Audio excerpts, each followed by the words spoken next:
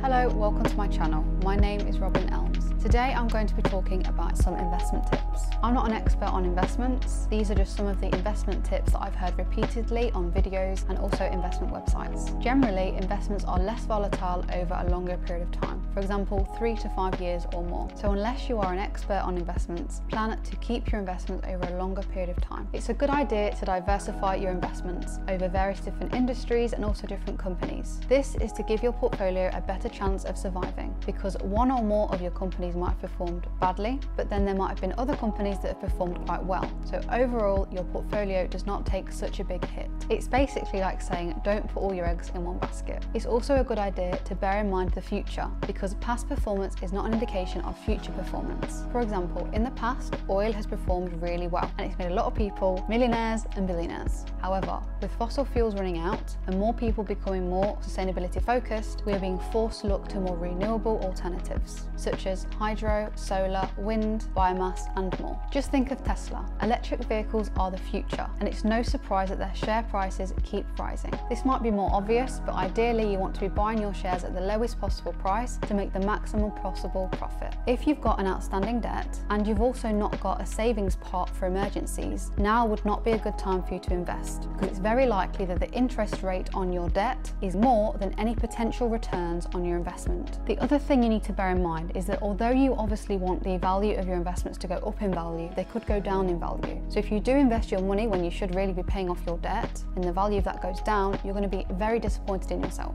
Do not invest any of your money if you've got outstanding debts or if you haven't got a savings pot for maybe emergencies or even a house deposit. Remember, investments are very different to savings. Investments can go up or down in value, whereas savings don't go down in value. They generally go up in value depending on the rate of inflation and also the interest rate on the savings account that you have. Always remember that your capital is at risk. Do not invest more money than you are comfortable with losing. For me, that is around 5 to 10% of my monthly income once I've gotten rid of all of my interest added debt and I've saved a decent amount for emergencies and a little bit for the future, such as a house deposit. Investing can become an alternative form of gambling if you're not careful. If you invest more money than you are comfortable with losing, you might invest more of your money to try and get back that money that you might have lost. And it could mean investing your money at the wrong time. It's good to start investing your money when you're young so that you don't bring the fear of investing into adulthood when you might have more commitments such as a mortgage or children and you'd have too much fear of losing your money. Don't be scared by the ups and downs of your investment value as this is the very nature of investments. If you faff about it, you'll give yourself a heart attack. When I first started investing my money, I would check it maybe every five minutes to see where it's at. All of the ups and downs don't matter because you're in it for the long run. Aim to look at the bigger picture over a longer period of time rather than on a daily basis because you do need to have a life as well. When you're new to investing, it's a good idea to invest your money into industries you know more about because you're more likely to be in the know. This doesn't mean investing your money into companies you've heard of before. Just because you've heard of them or they are a well-known brand doesn't mean they're going to be a good investment. I'm quite passionate about the planet and the people in it. So that's why for me, personally, it's a good idea to invest my money into companies that are trying to make the world a better place because I'm more likely to know what's happening in these sort of industries.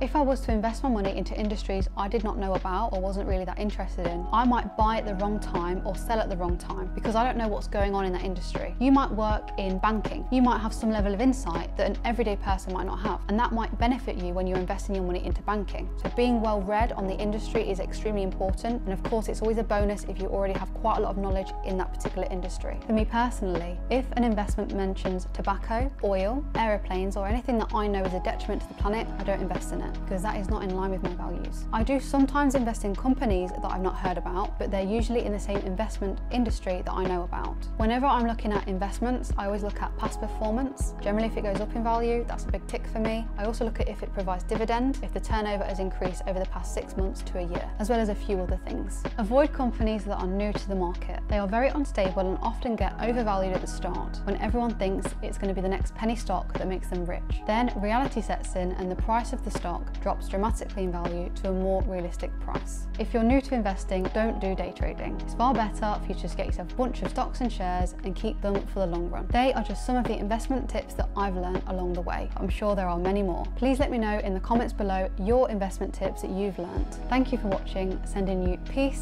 and love. Goodbye.